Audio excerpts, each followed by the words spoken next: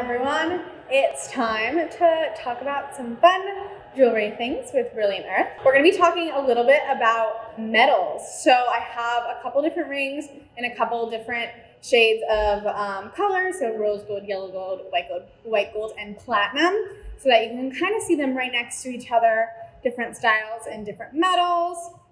Hopefully it will be helpful for you guys out there that are wavering between which metal do I choose. That's like a cus- um, uh, question a lot of my customers are like, I just don't know what metal to choose. So um, hopefully this will be a little bit helpful. I'm gonna start off with just one of our super classic wedding bands called the Sienna. And I literally have it in white gold, rose gold, and yellow gold. So we'll do a very nice direct comparison. So this is the Sienna ring. It is a French Pave diamond band. Can see those little French bright cut fishtails. It's about 2.3 millimeters wide, so I wouldn't consider it super thick or super thin. It is a very popular style, so kind of why I wanted to start with this one. It's about the coverage on your hand.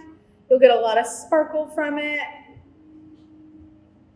Really, really beautiful. So I'm gonna throw on the yellow gold version next to it so you guys can see that. You'll see that it looks a little bit warmer from afar because you're right, it is a little bit warmer. You'll see the yellow in the prongs a lot more, even if the diamonds are, you know, the same shade. So you can see that warmth really come through a lot more. I would say this is a, a one where people kind of struggle the most because, you know, a lot of people will do mixed metals for their diamond band if they have like a yellow gold rose gold engagement ring. Um, and if you're gonna mix metals, one of the ways, my favorite ways to do it is with a diamond band. So if you like that really clean straight line from afar, you can kind of see just like diamonds, sparkly, um, then it's a really good choice. If you wanna stick with all one metal, then that's also a really easy way to go about it. If I'm gonna throw on rose gold now, and you can see how the opinions might start to waver. Rose gold is going to have this really gorgeous coppery tone. And then for reference, this is 18 karat white gold, 18 karat yellow gold, and 14 karat rose gold. We use 14 karat rose gold because the, the shade of the rose tends to be more preferable. It's gonna be a really beautiful balance of like pinky but still goldy, um, tends to be really, really popular. So zoom in on these guys. We'll stack them right up next to each other.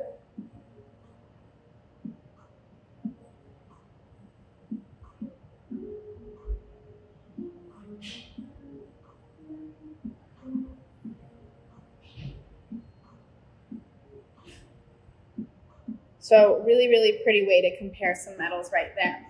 Um, I'm going to switch it up a little bit and do some engagement rings next. So um, I have a diamond band engagement ring and a plain band engagement ring in yellow gold. So we can compare how those two look next to one, one another. This is our six prong petite comfort fit. Super, super classic, six prongs. It is going to have a white gold head, meaning that the prongs are white gold and the shank or the band is yellow gold.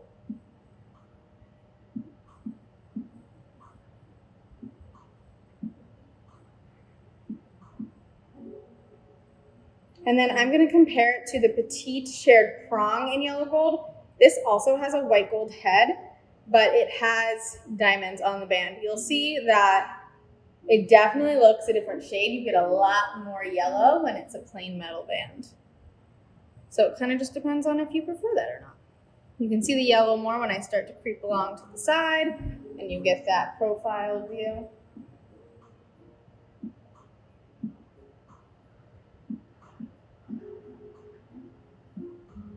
Put them right next to each other like that. Kind of see the differences there.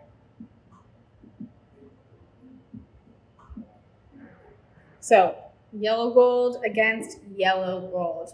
I'm gonna pop on our um, four prong petite comfort fit in rose gold so you guys can see that comparison. if you tend to like rose gold, you will probably like yellow gold and vice versa. Um, there also are some people on the opposite end of that spectrum as well that are only one type of metal person. I like all of them, um, but I tend to prefer yellow just based on my personal skin tone. I have like all of the undertones, um, which does kind of translate across the board. A lot of people with that olive undertone will lean toward a yellow gold, but there's no rule for picking a metal. Um, there are some definite suggestions if you're considering, you know, putting a, a diamond center stone in it. Some people will say if you're going to do, you know, a really warm diamond in the center, sometimes it's best to go with a warmer metal to match. Um, but it's all kind of personal preference. Um, for reference, these are about 1.25 carats. And they both have that mixed metal. So we have those white gold prongs on these guys.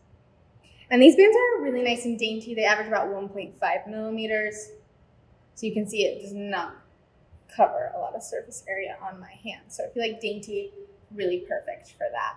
This is our aria. And it's about 1.25 carats here. A lot of people will ask me about um, white gold versus platinum. And the correct answer is depends. Um, I'd say the biggest difference is how they're going to change over time. So they're both going to start out looking exactly like this. Um, they're going to be shiny and silver. How um, platinum kind of ages, it'll patina a little bit, so it'll develop this slight matte finish, which is totally normal. Um, it's actually kind of funny that in different cultures, people will be like, oh, like you can tell how long you've been married based on how much patina you have. Um, or on the opposite end of the spectrum, if you're doing white gold, um, it may start to lose its rhodium finish a little bit over time as you come into contact with different chemicals or depending on, you know, your specific pH balance, sweat pattern, things like that. Um, so as that rhodium starts to wear away, you'll notice that little bit of hint of yellow undertone kind of come out. Um, and it's usually going to be on the base of the finger. So right here, um, it can easily be replated. Um, but white gold stays really shiny. It's really good at holding small dainty diamond accents. Um, and then in some other cultures, like I was saying before, they can tell how long you've been married based on how much rhodium you have worn off under, you know, your finger. So some people really don't like to replate it because of that cultural symbol. Um, and then other people will replate it if they start to see it warming. I really love um, platinum for heavy metal bands. So something that's like a two millimeter comfort fit. I have this guy right here. You'll see it's just all plain metal, super classic. This is about a 1.25 princess cut. Platinum is super good for something like this.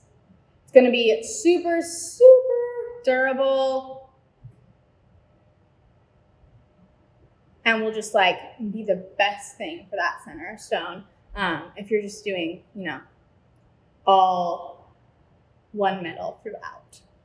Um, another thing to think about is if you've ever had any metal allergies, I know that like a lot of my friends do. Um, platinum is good because it is hypoallergenic. So if you have anything, um, if you've ever had earrings that bug your skin, something like this will be a little bit safer, especially if um, you're surprising your partner, um, and you think they've had metal allergies before, starting with platinum might be a good way to go about it. So there we have that. Something like the petite shared prong I have right here. Most people tend to get it in a white gold as opposed to a platinum, just because white gold tends to sometimes be a little bit more sturdy for tiny, tiny diamond accents. Um, so that would be a, a slight recommendation there. But once again, it is based on personal preference.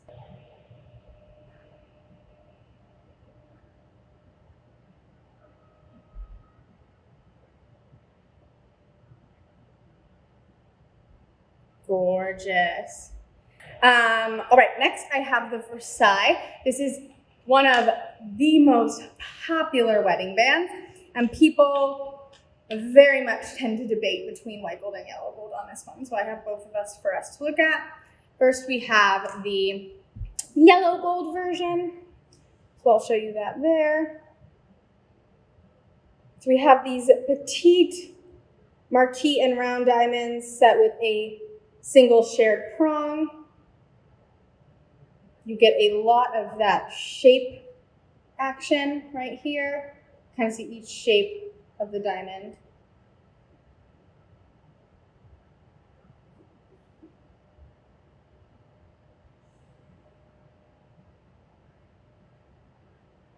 And then let's compare it to the white gold. So for this one, you'll see these prongs do stand out a little bit more, but the prongs are meant to kind of be seen on this one. It kind of flows with the design. So it depends on your preference there. Diamonds are not all the way around on this one. They go about halfway. You'll see it end right about there.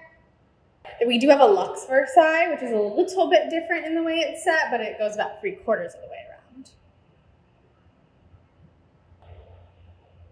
And this also, there's a really beautiful engagement ring version. Um, I love that. So we have this white gold Waverly. You'll see that you have a lot of diamond accents around this approximately two and a half carat pear.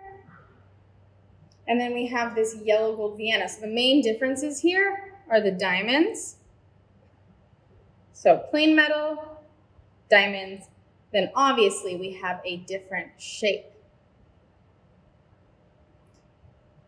So you can see that metal contrast there. I would say this is a really popular um, differentiator for people. A lot of people, when they really like yellow gold and they want to see that yellow, they'll pick, you know, opt for the Vienna over the Waverly. Sometimes it's vice versa, etc., etc. Okay, so the, for the Vienna, I do have a really cute um, wedding band to pair with it. It's called the Astra, so I wanted to just ask about that. And I have it in yellow gold.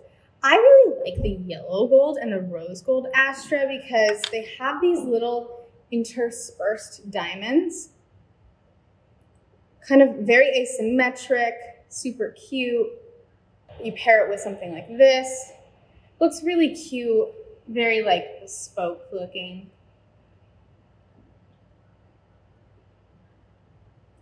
So here's the Nadia with a 1.25 oval. If you want to do something like the crescent, ooh, wow, that looks really good. Um, fits beautifully.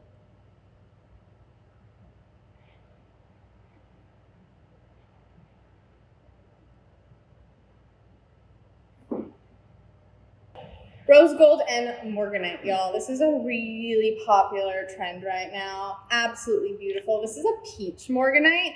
Um, this tends to be really popular to match with rose gold. I sell more morganites with rose gold than any other gemstone, so that's why I thought I would highlight it here. The colors pair just so beautifully together. It's a very peachy rosy color and then with a very peachy rosy color. I really like accenting it with some diamonds because it kind of brings out the brightness there. Absolutely stunning. And then if you throw on something like the Marseille with it, that's going to be really, really beautiful.